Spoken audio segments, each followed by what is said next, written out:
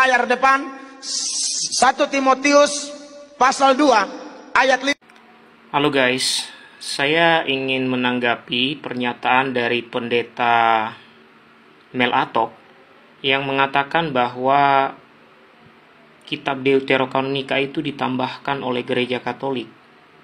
Dan dia mengatakan kita menolak itu dan lain-lain. Banyak ucapan yang dia ucapkan dalam video itu. Tetapi Bapak Ibu saudara-saudariku yang terkasih, kita harus tahu bahwa para pendiri Protestan awal terutama dalam terjemahan King James Version ini tahun 1611 berarti sudah ada Protestan saat itu di dalam versi King James Version tahun 1611 itu masih ada kitab yang mereka sebut Deuterokanonika. Masih ada. Bahkan dia katakan kita tolak kitab Makabe. Nah, ini. Di dalam James uh, King James Version ya, nih ada kitab Makabe itu. Satu Makabe, dua Makabe.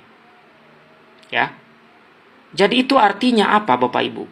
Kapan dihilangkan di dalam daftar kitab suci Protestan?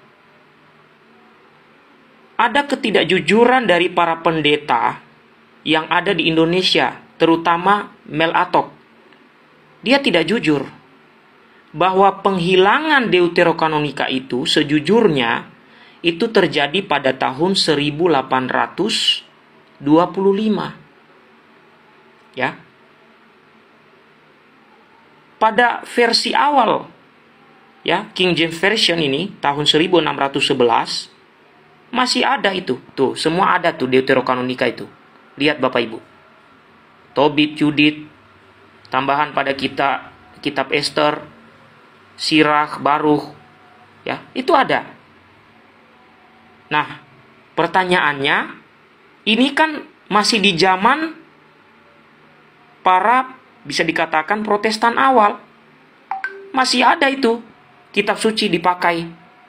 Nah, dihilangkan Bapak Ibu ya itu pada tahun 1000 ah kita lihat ya eh, apa namanya siapa yang menghilang hilangkan ya.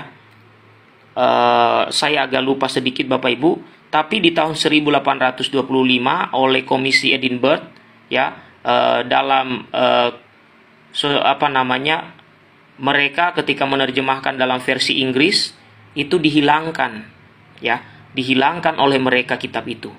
Saya bahas